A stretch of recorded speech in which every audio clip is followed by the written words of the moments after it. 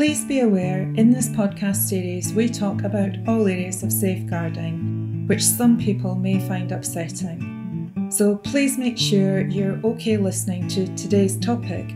Be mindful of those around you, such as children, that you might not want to listen in. Hi, I'm SSS Safeguarding Director Sam Preston. And I'm former head teacher and content author Sarah Spinks. Today, we're diving into the latest research on the use of reasonable force and restraint in alternative provision and special schools in England. So, let's start with some background. The Department for Education has been working to minimise the use of reasonable force, physical restraint, and other restrictive practices in schools across England. So, Sarah, could you give us a broad overview of this initiative and its significance?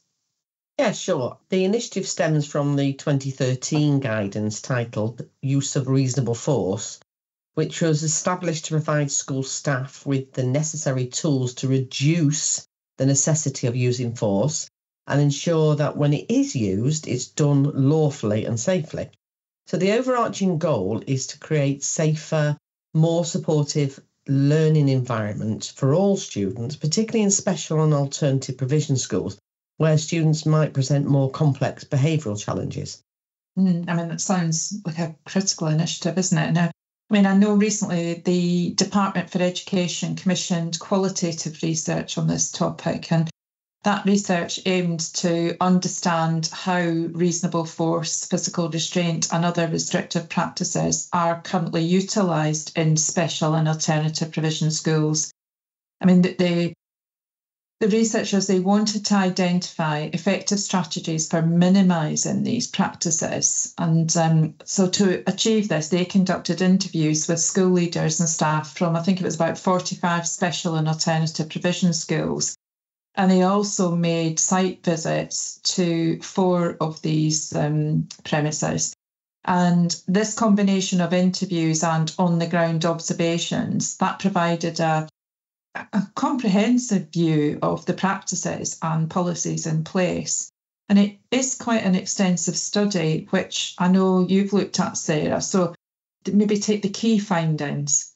Yeah, well, the findings yeah, were indeed comprehensive. You know, firstly, all schools had detailed policies regarding the use of reasonable force, often embedded within those broader behaviour management policies.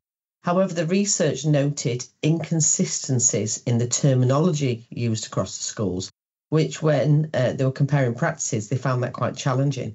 Yeah. Most schools did use the DFE guidance, but there were concerns about its sort of specificity and the relevance to the diverse contexts in which these schools operate. Mm, gosh, that's interesting. So, how did staff training factor into the findings?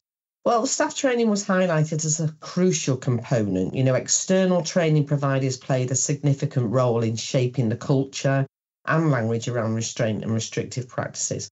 However, financial constraints often limited the extent and quality of training that staff received. Schools emphasise the importance of personalised prevention and the de-escalation strategies that are tailored to individual student needs. Now, these strategies range from understanding specific triggers to using various distraction techniques to diffuse those potentially harmful situations. So prevention and de-escalation, you know, they seem to be key themes, don't they? How often did the research find that reasonable force was actually used? Well, the use of reasonable force was generally seen as a last resort, primarily to prevent immediate harm. Fully restraining students was rare. Good. When force was used, schools were diligent, you know, in maintaining those records of these incidents, although the specific practices for recording varied quite widely.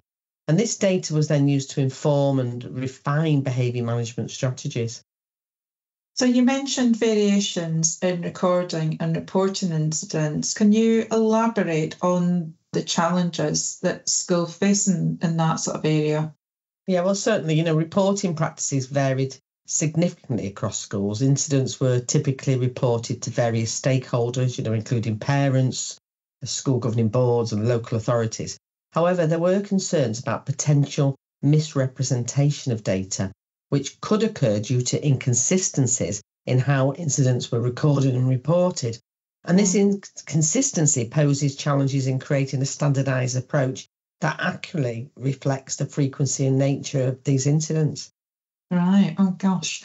So, given these findings, the research identified several areas for further exploration. And one key area is the role and impact of training providers on school policies and practices. Another is the effect of removing certain stimuli on reducing the need for restrictive practices.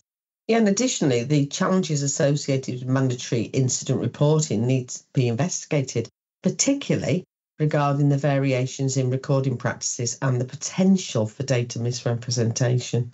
Yeah, absolutely. I mean, that's, mm. you know, it's really critical, isn't it, for further research there.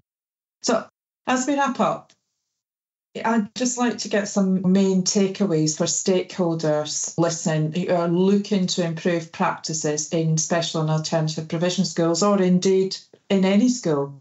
Yeah, well, I think the main takeaways are the importance of having comprehensive, consistent policies and the need for robust, well funded training programs.